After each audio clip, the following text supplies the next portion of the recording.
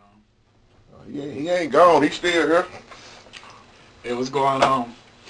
About to get ready to head up out of here in a minute. It was a blessing to come visit this brother, this bishop, this preacher, this man of God, Jerome. I'm glad to be by here. Came by today. Just just came by. The spirit just led me over here to come on by. My brother was up doing what he do best in the word. He was studying and he answered the door and he's like, what's going on? And we came, I came on in here and we, we just been having fun, catching up, good catching up. Mm. Um, real quick, I'm about to get up out of here. I want to throw something at you. At the gym that I attend and go to, which is 24 hour fitness, when I do a workout called the bench press, it causes me to lay on my back. when I lay on my back, I'm in a position where I'm looking up. Come on, Doc. When I look up, the weight that I have on the bench, sometimes it's enough weight for me to pick it up by myself. Mm.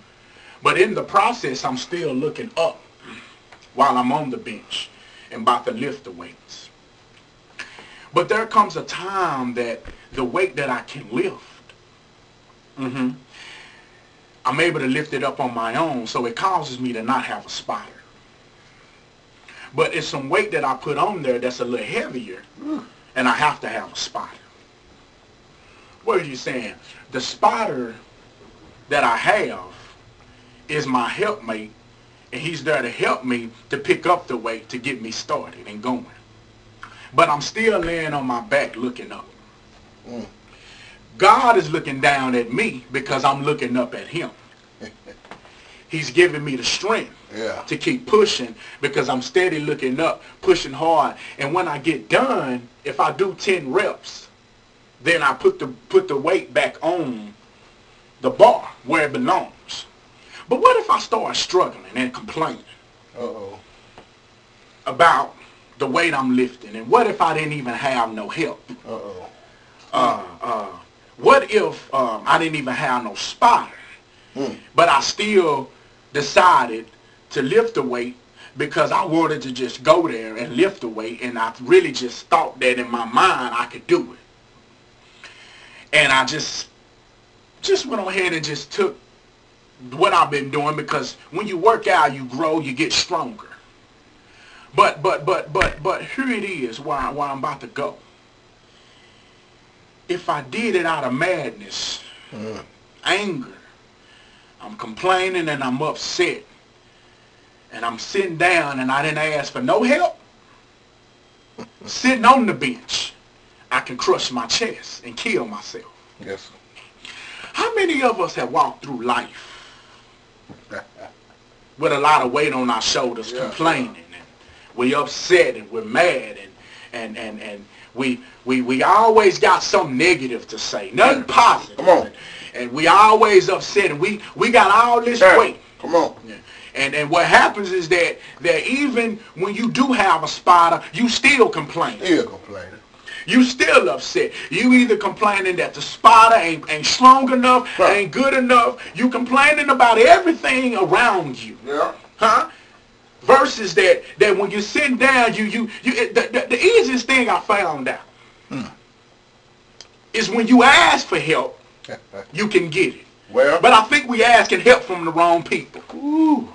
See, my spotter has to be connected with me. Mm. Huh? Meaning that that my spotter that I have, he he also has a relationship with God. God. Huh? Because what happens is that I can't have nobody that's complaining spotting me. Because if he complaining and angry, he gonna mess around and leave me stuck in the same place. Mm. But there's a there is something that happens in life when you get knocked down on your back. Uh-oh. See, back. me laying on my back on the bench press, that's a position to lift the weight. But I've been on my back in life Ooh. and things I've been through that had caused me to do one thing, and that's looked up. Look up from which my help come from, and my help, it does come from Lord. Come on, bro. Believe that. But but but what I realize and what I'm where I'm getting at and where I'm going is that also when I looked up, I was convicted of a lot of things that I did wrong in my life. Almighty. See, when you're in the hospital, Uh, when you're laying down, there's a position they put you in. They put tubes in your arms, put things on you. You're in the position to look up. And there's a point there's a point in time in the hospital where they say no visitation. Mm. You're in the room by yourself. By yourself. Hallelujah. Suddenly God can come in and allow you to look up and you start really talking. He Mm. starts talking to you. It, it's amazing how when you're laying on your back, Mm. There's only one thing you can do is look up. Yeah. And when you look up and your eyes are open, you're able to think on the things that you did. Hmm. The choices you made, the things you went through, the things you complained about, the people you talked about, Yeah. the people you hurt, Come on, Doc. the life, the life that you lived. But you know what I love about God? He's a God of second chance. Mm. How many opportunities in your life you been laying on your back and you done looked up and he done brought you out of it? Mm. Why did you talk about the weights in the beginning? I'm learning something. That when you lay on your back and God bring you out, that means you don't have to go back to the same situation. Mm. So when I'm at the gym, I don't go back and lift that same weight that I can't lift. Yeah. I lift the weight that's comfortable for me, the weight that'll get me there, the weight I can push. Because I'm going to tell you something, my spotter is not going to always be there. But I got another spotter Ah!